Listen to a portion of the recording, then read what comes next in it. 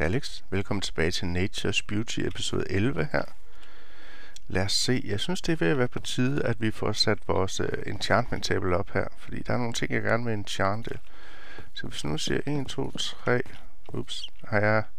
Jeg har søgt også på den her. Det er genialt. Sådan. Uh, 4, 5, 6, 7, 8, 10, 11, 12, 13, 14, 15, 16. Åh, oh, jeg troede, jeg havde 15. Øh, lad os stille det her her. Kan vi så enchante level... Jeg synes, jeg havde lavet noget, jeg gerne ville enchante. Ja, dem har vi lavet sidste gang. De her diamantudgaver af vores tools. Lad os prøve at se, hvad kan vi få på den der efficiency. Øhm, skal lige have noget lupis med her. Øh, lad os lige tage noget lupis. Og har jeg en kiste. Øhm, jeg har den her. Har jeg egentlig lavet en nøgle til den? Det har jeg. Draw key, quantify key. Sådan her. Så kan vi tage den her med. Så kan vi stille den her, og jeg beklager, hvis der er lidt larm her i baggrunden. Ja, det, det er varmt, og jeg har døren åben ud til, så hvor skal vi stille den her? Vi kan stille den her, måske. Okay, og så kan vi øh, putte lupus ind i den, og så gøre sådan der. Og så hvis vi tager den her nøgle, så kan vi også låse den, så der kan komme andet i den end lupus. Sådan. Så kan vi nemlig tage det ud igen. Og så lad os prøve en chant. Hvad sagde den der? Efficiency 4. Og ikke andet. Okay. Og du får Efficiency 4 og Unbreaking 3. Det er jo glimrende. Øh, diamanthammeren. Jeg tror, det er den, der gør det der 5 gange 5 Er det ikke? Det kan vi jo lige teste. Lad os lige putte det der tilbage. Det der, det er til jord. Lad os putte de her to her ind igen. Og putte den der væk for nu.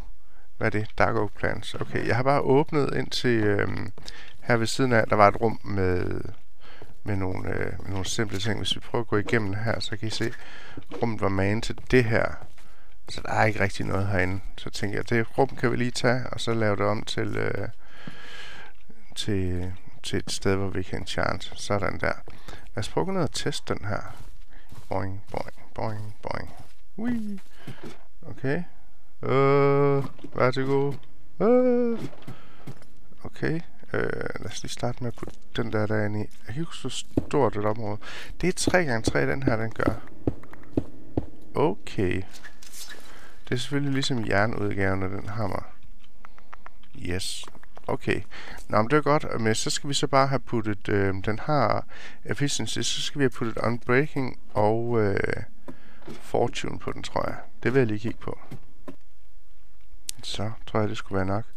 En bog, tre guld og lapis, så får vi Fortune 3. Og så havde jeg en Unbreaking bog allerede, så der kan vi få Unbreaking og Fortune. Sådan, så er det en god hammer. Vi kan få mending på den på et tidspunkt, men der skal vi først til, til the end, og jeg har ikke... Øh, hvor mange end, øh, end, end, end Uh, jeg har måske snart nok. Jeg havde noget Blaze jeg har ikke noget blaze powder. Så skal vi ned og finde... Skal vi ned og se, om vi kan finde noget blaze haløjsa? Hmm. Der var også noget andet, vi skulle kigge på jo. Øhm, se, der er den her mansion her. Og vi har lavet vores... Hvorfor er der en netherportal der? Uh, det tror jeg ikke, jeg har lavet. Øh, hvad var det her underligt slot med loot? Var der ikke et eller andet sted, der var en Inka-pyramide? Den der Aztec-pyramide, den var vi aldrig nede i.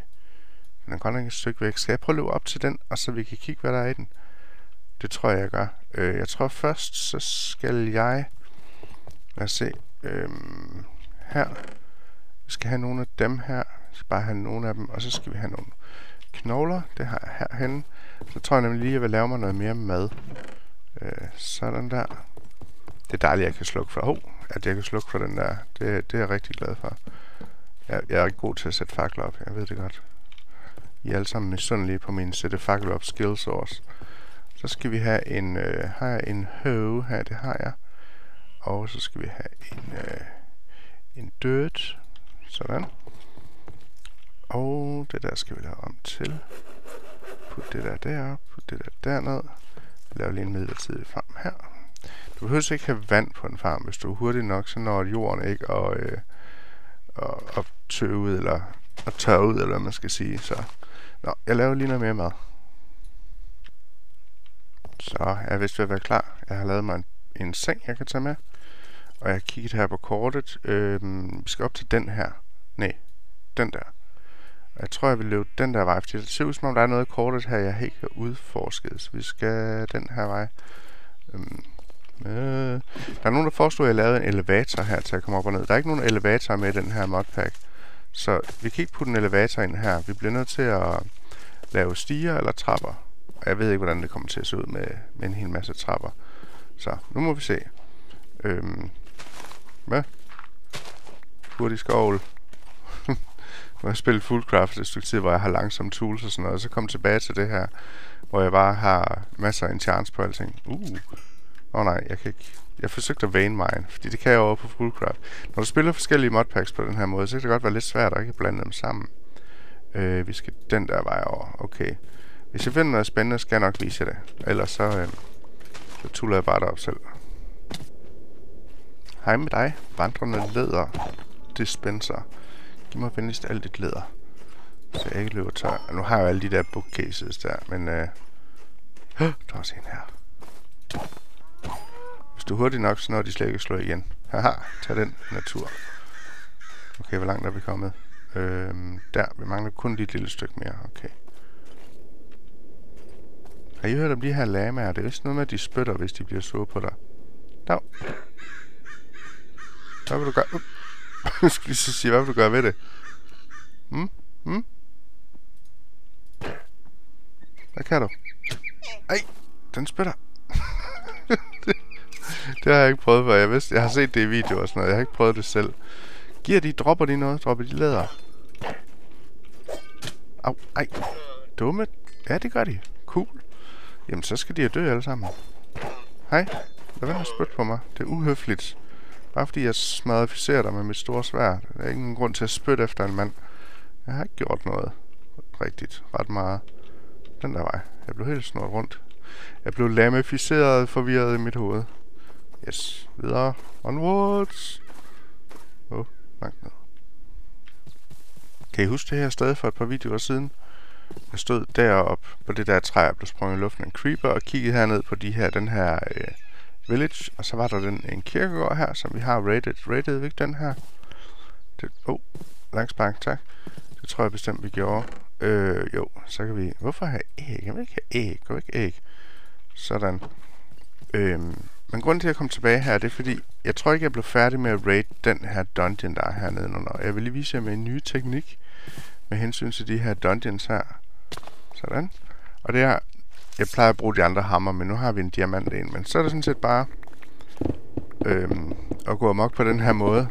Se, så finder vi de der spawners med det samme. Og hvis jeg ikke kan finde dem, og monsterne de dukker op, så følger jeg bare efter monsterne, hvor de kommer fra. Og så kan vi komme tilbage. Og det her, det er sådan dobbelt. Det er fantastisk, fordi det er dem, vi gerne vil have mere af, flere af til spawneren. Så det, det er min teknik. Øh, fjeldreven har den de der spawner i. Den har ingenting. Hold op knapper. Okay. Lige tage nogle af dem her ud. Sådan. Og så skal vi have den der væk. Så skal vi have en af dem der. Put den i. Nej. Put den i her med det samme. Og tage den næste. Og så er det ellers bare at, øhm, at gå amok med, med den her. Og så smadrede jeg de der, øh, hvad hedder de, de spawner, der spawner øh, de der små æderkopper, fordi jeg har 10 af dem allerede, de der spawner. Og de er meget irriterende. Jeg ved ikke, hvad jeg skal bruge dem til. Ja, det er godt med jer. Så jeg vil bare lige vise jer en ny teknik, hvis I selv skal ud og samle spawner op. Så den her måde at komme rundt på. Når I kommer ud til, at det ikke længere er sandstone, det vil sige, at der er almindelig sten, så slutter dungeonen i den retning. Og så kan I gå i en anden retning og se, om I kan, I kan finde nogle spawners. Så det vil jeg lige vise jer. Så vil jeg samle de her spawner op, og så se, om jeg kan komme over til det der, øh, den der Inka-pyramide tingling. Og når det hele begynder at se sådan her ud, så er der ikke meget mere at komme efter. Og der er ingen monster længere. Der er ikke nogen, der kommer og overfalder mig, så jeg tror, jeg vil have tømt den her. Nu skal jeg bare finde ud igen. Øhm, op, måske. Yes, op. Så er vi næsten ved at være der. Der er nogen, der har spurgt mig, hvad det her nede, de her fire skjold hernede, det er. Jeg ved det ikke helt, men når jeg tager min armer af, så kan I se, at de forsvinder. Og når den tager på igen, Hvis jeg tager en af dem på, så dukker der en af de der skjold op, og så får jeg selvfølgelig min armer hernede. Men øh, jeg ved ikke, hvad det er. Det synes som om, der kommer en per armerstykke, du har på. Men jeg ved det ikke helt. Og så er der også nogen, der har gjort mig opmærksom på, at når du løber, så kan du høre din rustning.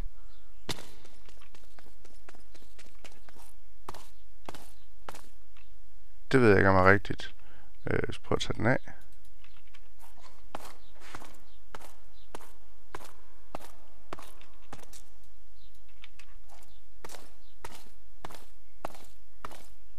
Det kan da godt være, at der er lidt mere lyd der. Det har jeg ikke lige tænkt over. Lad os prøve at se. Vi skal ud hernede fra. Jeg ved ikke, hvorfor jeg hoppede hernede. Det var du held. Øhm, der var lige heroppe, var det ikke? Hallo? Sikkert få et, et underligt hul i jorden her. Det er fuldstændig cirkulært. Mystisk. Nå. Øhm, er vi der snart? Jeg skal tisse. Var det ikke lige her? Jeg synes, det var lige her. Jo, det skulle være lige her bag ved de her træer. Så kommer den ud af disen. Ligesom, ligesom jungler og, og aber og alt det der. Hvordan skal vi, øh, hvordan skal vi takle det her? Skal vi grave os ind i den, eller skal vi... Jeg tror, jeg vil prøve at løbe op på toppen, og så gå ned. Øh, hvor langt ned går den? Går den længere ned her? Ups. Det ser ud som den slutter her. Så det her nede, det må være gulvet, eller hvad man skal sige. Det må være bunden. Okay. Så lad os prøve at løbe herop. Og så lige øh, komme af med noget af det her. Sådan. Øhm, den lider nedgang, nedgang til sådan en roguelike dungeon. Sådan lidt... Hov. Oh. Vines. The bane of my existence. Og spimmelsvævs. Jeg ved, om det er det samme som den anden der. Det var en dead end i hvert fald. Oh, her. Ja, der er to zombiespawnere sammen, ligesom der var hen i den anden. Så det kan godt være, at det bliver genereret af den samme mod. Se, hvis det her... Ja. Jeg tror, det er det samme med, at du kan, øhm, du kan hente de der... Øhm, at der er spawners over det hele og de her ting. Så vi skal have nogle flere spawners. Og det kan godt være, at jeg bare skal kigge i den her selv og se, om jeg kan finde noget interessant. Tools, den der. Joink. Og så når vi kommer hjem, så kan vi putte dem her ind i spawneren. Og se. Lad os prøve at gå videre. Du, gå væk. Øhm, havde jeg ikke nogen der? Lad os prøve at lukke her. Og så se, hvad der er herovre. Spinvæv. Altså layoutet virker meget som det samme. Altså nu går vi ned ad en trappe her, og så er der... Hvis nu er cave spider spawners herinde også, er det her bare en... Det var en dead end. Det var spændende så nu også har cave spiders, så, øhm, okay, vi synes, man var tre etager, fire etager måske. Okay, hallo? Hvorfor, hvorfor det ændrer det hele? Er der andre veje, jeg kunne have gået? Nej, det var da vi kom ind. Så skal vi ned af her. Det er den eneste anden vej, vi kan komme. Øh, var det en cave spider? Ja. Dø. Okay. Så ja, jeg tror, det er det samme. Hvis vi finder en cave spider spawner her eller andet, så det var også en dead end. Det er nemmere med, med den store hammer, og så bare smadre sig bare igennem det hele, men øh, det er jo ikke sådan, det er meningen, at det skal opleves første gang i hvert fald. Så jeg tænker, at vi kan lige prøve at kigge på det sammen. Øh. Det var så ikke planen. Hov, hej. Ja, det ser jo det ser bekendt ud, det her, synes jeg. Hej. Okay. Nu faldt jeg ned igen. Endnu længere ned. Jeg tror bare, jeg... Um, tror, jeg tager min af den her funktion i brug. Der er et skelet her et eller andet sted. Der er du. Vil du venligst holde op med det? Det er voldsomt uhøfligt. Står du der gemmer dig inde i en vejen. Bilder du dig ind? Jeg har ikke fundet den eneste skillespawner af dem her. Det har kun været zombiespawner og... Øh, ja, se derude. Det, øh, det yderste her. Det har kun været zombiespawner og... Øh, de der små æderkoppe. Cave spiders. Må vi lige spise. Så...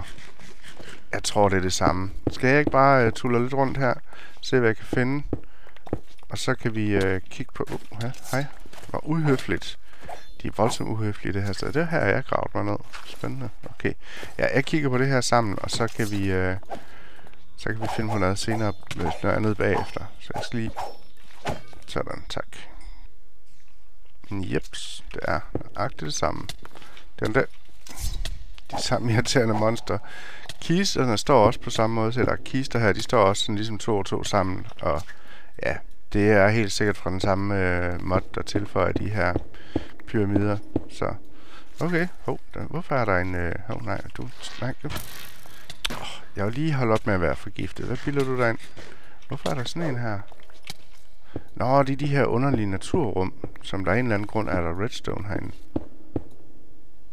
Jeg ved ikke hvorfor. Oh well. Jeg fortsætter. Der er et specielt sted i helvede til folk, der bruger den her mængde cave spider spawners i en dungeon. Jeg blev sur på den her pyramide, og nu har jeg ødelagt den. der er ikke noget tilbage af den. Jeg smadret den. Fordi den er dum, og jeg kan ikke lide den. Så, ja, se. Ligegyldigt hvor du graver hen, så er der bare... Så er der bare... Nej, niks. Ikke mere. Nej. Se, jeg har brugt over en stak, eller en halv stak mad på at, at slås mod de der elendige cave spiders. Møgpyramide, jeg kan ikke lide dig mere. Nu vil jeg hjem. Nu er jeg hjem. Den der vej, tror jeg. Øhm. Der er en mere. Den ser anderledes ud op på toppen. Men ellers så, det er garanteret det samme. Jeg bliver lige nødt til at tjekke den. Den er på vej hjem. Vi er næsten hjemme. Se, vi er nede på huset, der vi var deroppe før. Og vi er dernede nu. Øhm, den her den er lidt mere slidt. Hmm? Hallo? Øhm, den er lidt mere slidt i og med, at øh, der manglede trin på trappen. Se, sådan ligesom det der sådan noget. Der er ild i de der hjørner. Hvad er det her for noget? Er det... Det er garanteret nøjagtigt det samme. Mm, yep. Og her starter det igen. Nu. No, no, no, no. I'm done. I am done. Du kan ikke have mere med dig at gøre. Du er dum, og du lugter af æderkoppetis. ikke. Jeg har fået nok smadret æderkoppespawner i en halv time. Gider ikke mere. Jeg vil hjem. Hvor er hjem? Ad, jeg vil ikke have dine øjne. Det er ulækkert. Okay, hvor er hjem? Øh, derovre. Okay. Geronimo! Au, ankler. Uh, uh, uh, uh, alle mine ankler. Oh, endelig hjemme. Ej, det er godt at være hjemme. Hej, jeg har savnet dig. øh, lad os se, hvor mange vi har. Øh, det kan være, vi kan fylde den op. Ah, undlov. jeg ved ikke engang, hvor mange der er. Så det var 30 før. Det var 2, 3, øh, 4. Der bliver 5, Så kommer vi op på 39. Det er mange spawnere. Så ikke jeg haft så mange spawnere før. Sådan. Det er dejligt. Vi kan godt lide mange spawnere. Mange spawnere er mange sjov. 39. Okay. Så er der plads til, hvor mange plads? 1, 2, 3, 4, 5, 6, 7 mere. Så er der plads til 46 i alt. Okay. Lad os tænde for den. Fik vi en lille lag spike, det er okay. Put dem her tilbage her i. Og hvad fik vi ellers? Jeg tog nogle andre ting med hjem. Ja, hov, der var en mere. Uh, den må jeg lige gå op og sætte bagefter. Men nej, sådan. Jeg fik, øh, fik lidt andre ting med hjem, så... Men ja, det er dejligt at være hjemme, og vi kan afreagere på zombiefødder. Åh oh, ja. Der var på et tidspunkt en, der gjorde mig opmærksom på, at jeg, jeg reparerede et eller andet på et tidspunkt. Øh, et armor eller tool, det kan jeg ikke lige huske. Men der var en, der gjorde mig opmærksom på, at du kan spare du kan spare træet på håndtaget på dit tool, hvis du, øh, hvis du reparerer dit item direkte med, med diamanter, i stedet for med, øh, med et, et andet tool. Hvis vi nu tager den her hakke her, som ikke er gået helt i stykker, men snart, og smider den ind i, så for at reparere den, så skal jeg bruge 1, 2, 3, 4, og det koster 19, og det koster 4 diamanter. Det er derfor, at du kan komme op på, at det koster 5 diamanter at reparere et tool, som en hakke, og endnu flere, eller lige så mange for en, en skovl, som koster en at lave en ny af. Så derfor kan det altid betale sig at reparere et tool, men det er kun dine tools, med et nyt tool. Se, det her det er også billigere i, øh, i XP. Men når det kommer til at reparere din armor, for eksempel, hold op, der var, var den ikke ny, inden vi gik derop, så kan det bedre betale sig 1, 2, 3, så det koster 3, hvorimod hvis jeg skulle bruge en ny hjelm, så vil det koste 5. Hvis den vil blive repareret helt på den der, det samme 3, den der, det er også, det kan være to nok. Jeg ser, der var to nok. Og den koster 8 at lave en ny af.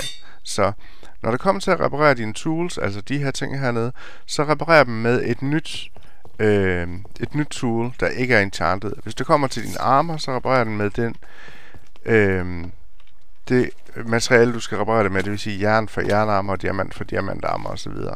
Så jeg vil lige reparere det sidste af mit armor her. Det blev temmelig slidt af den der tur.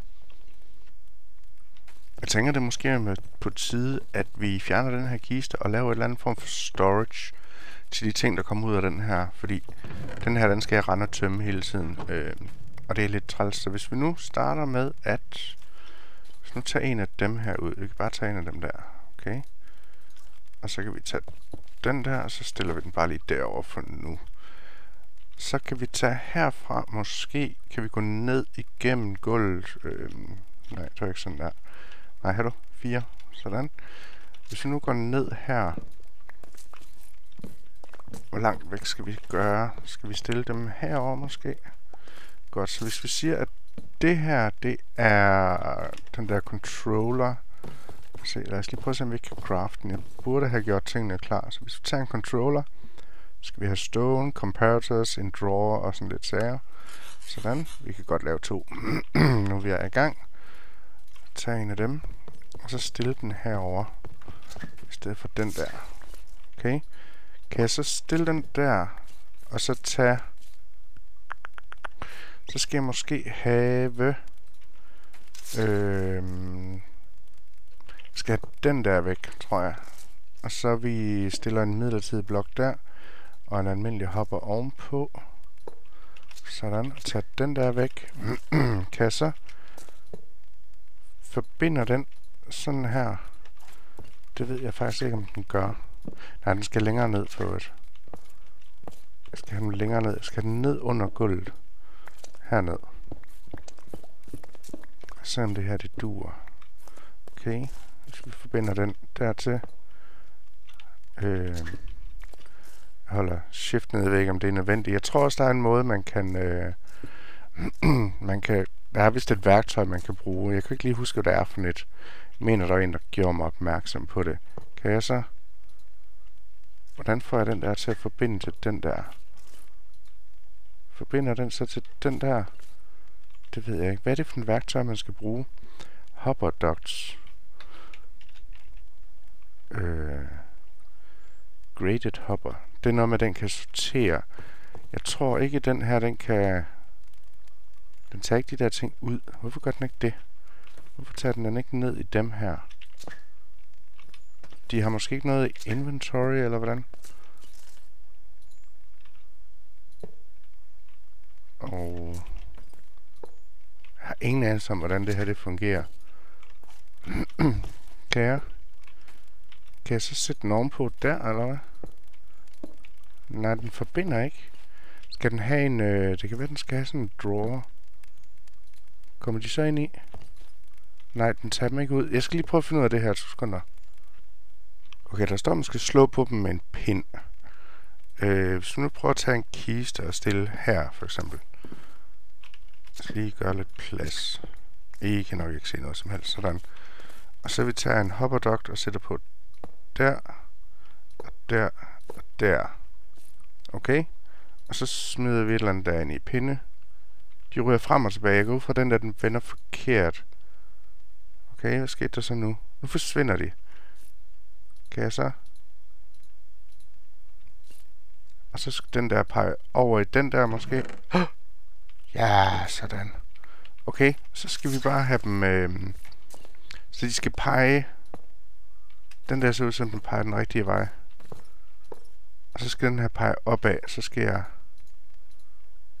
pege den opad nu. Jeg tror, den peger opad nu. Og så... Og den er klog nok til at finde ud af, at jeg gerne vil have den næste til at pege den vej også. Så vi kan stille den der der måske. Og så en her. Kommer der så? Eller er pindene den tom? Okay, de forsvinder i hvert fald. Der står, at hver af de der hopperduct har en, øh, et inventory på et item. I stedet for, at den hopper, den har en inventory på fem forskellige items. Men jeg kan ikke kigge ind i dem. Hopperduct. Nå, okay, det kan jeg godt. Den har ikke noget. Den har heller ikke noget. Er der, nogen, er der en af dem, der vender forkert, eller? Eller hvor, hvor går det hen? Øhm, det den der? Den der, den peger ikke den rigtige vej. Skal jeg så? Peger den ikke opad? Øh, er det den der nu? jeg kan ikke finde ud af det. Kan den ikke sende det der opad? Er det der ikke rigtigt? Det ser da rigtigt ud. Prøv lige vent. Den har det stadigvæk inde i sig. Hvorfor sender den ikke op til den der? Hov. Øh, hov, havde den noget nu? Nu har den 23. Nå, den kan ikke sende det videre, fordi den der, den har der. Okay, så sender den den der op til. Hvad nu, hvis jeg putter... 1? Hvorfor putter den ikke resten op i den der? Draw controller. Er det der ikke rigtigt? Jeg ved ikke, hvordan den skal vende, før den modtager det. Der er stadig kun en i den der. Skal den ind? Det kan være, den skal ind bagved i stedet for. Øhm, så hvis vi nu gør sådan her, og så vil sige, at den der skal pege ind i der, og den der skal pege opad, måske, og den der, den skal bare pege sådan der måske. jeg ved ikke. Hvis vi så smider det der derinde i, det går ikke nogen sted. Og det er fordi den der, den ikke vender rigtigt. Den skal pege opad, og den der, den skal pege den der vej. Okay, har vi så 5 der. Hvor går de hen? De ender i den her. Hvorfor går de ikke ind i... Kan de ikke... Prøv lige vent. Skal jeg have en... Øh... Skal jeg have en, en almindelig hopper? Måske. Kan vi så? Ja, så ryger de ind i. Hvorfor? De kan ikke pege ind i den der, åbenbart. Jeg kan ikke få hoppedokten til at putte ind i den der. Det var da lidt uheldigt. Men det her, det lader til at fungere nu i hvert fald. Men jeg kan ikke bruge en hopperdoct her. Hvis I ved hvorfor, så må I godt sige til. Jeg tror lige, jeg lukker det her, og så stiller jeg nogle flere af de her op. Og så må vi lige se, hvordan det kommer til at se ud. Så jeg spørger om to sekunder. Okay, for så har jeg fået sat nogle op her. Øhm, jeg har sat den i de her shipping bins her, hvor jeg kan sende rotten flesh. Sælge rotten flesh, og sådan så rydder op min inventory. Nu prøver vi lige at tænde for den her, og så ser vi, hvad der sker. Øhm, First Åh, oh, når jeg slukker for den, så kan jeg bare mærke kæmpe lagspark, fordi alle de her gutter her, de begynder at spawne. Så lad os prøve at se, hvis vi slår et par stykker af dem ihjel. Sker der noget herovre nu? Så kom der rotten flesh ind. Okay, jeg har taget mine nøgler med. Øh, lad os den her quantify key 2. Okay. Og lad os prøve at slå nogle flere af dem ihjel. Jeg håber ikke, det er for højt. Jeg har faktisk skruet temmelig meget ned for det. Okay, der kommer noget kylling. Og masser af det der.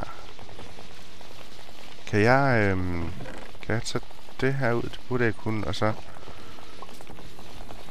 Yes, så burde jeg også kunne tage en af dem her og smide derind, fordi der skal være plads til rigtig meget af det der rotten flesh. Okay. Øh, der kommer ikke andet ind lige nu. Hvorfor kommer der ikke ind? Nå, det kommer pile. De er ind der, okay. Øh, og kartofler og knogler. Kartofler, knogler, okay. Det ser ud til, at det fungerer glimrende. Det er lidt ærgerligt, at den der, den skal stå der. Men jeg ved ikke, jeg ved ikke hvordan jeg ellers skal gøre det. Fordi vi prøvede på den anden måde, og det virkede ikke. Men det der, det ser ud til at fungere. Og nu kan jeg så have alle tingene til at være i de der kasser der, i stedet for... Øhm, I stedet for, at der er sådan en kasse herover. Lad os lige prøve at se, tage det der væk. Hvis jeg så... Bup, bup, øh, der er ikke nogen steder til buerne. Dem skal jeg måske sortere fra. Jeg ved ikke, hvordan jeg skulle sortere dem fra. Der er ikke noget fussy sorteringshalløjse her. Øhm, hvis jeg nu gør... Hvis jeg tager pile og knogler... Og det der... Og så... Uh, sådan. Og så kom min egen pil her. Det, det er ulempen. Hvad har vi ellers herinde? Så har vi alt det her armor. Det gider vi ikke have. Det her skal vi nok gemme og jern og sådan noget. Ja, men det må komme efterhånden, som jeg bruger den her. Men det var rigtig godt gjort. Øh, hvis I ved, hvordan jeg skulle sortere de der ting fra, øh, pile og, øh, og de der ting, eller ikke pile, øh, armer og sådan noget, det ville være rigtig fedt, hvis I kan fortælle mig, hvordan. Der er noget, der hedder... Der er de der graded hoppers. Er der en trashcan af en eller anden art? Der er ingen trashcan. Er der noget void? Nej. Jo, der er den der Void Upgrade. Men det er bare, hvis kassen den bliver fuld, så smider den ekstra materiale ud. Den kunne vi selvfølgelig godt måske lave. Men ellers så, se, ja, den er ikke helt hurtig nok. Jeg skal lige op og slukke for den her. Men jeg tror sådan, at jeg vil stoppe for nu. Øhm, for en gang skyld, så er videoen blevet lidt lang. Jeg beklager. men, men sådan går det jo, når man hygger sig. Så øh, jeg spike igen. Så men jeg vil stoppe for i dag. Mange tak, fordi du kiggede med. Bup, bup. Så kan vi gå herhen til vores nye, øhm, til vores nye skuffedejer. Ja, og så ses vi alle sammen næste gang. Tak fordi du så med. Hvis du kunne lide videoen, så ved du, hvad du kan gøre. Pas på dig selv og de andre. Vi ses. Hej hej.